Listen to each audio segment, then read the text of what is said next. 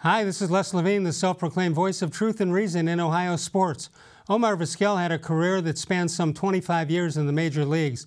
I heard a discussion today. One detractor thought that that was a detriment to his chances to make the Hall.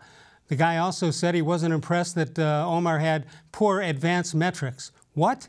The argument is usually if Ozzie Smith makes it, so should Omar. That's baloney, too. I would take Omar way ahead of Ozzie. Here's the real comparison Alan Trammell. How is he in and Omar is still waiting? Oh, yeah, Omar once made three errors in one game his first year with the tribe. Boy, does that mess up your advanced metrics. Bud Shaw is here. More Sports and Les Levine is on the air.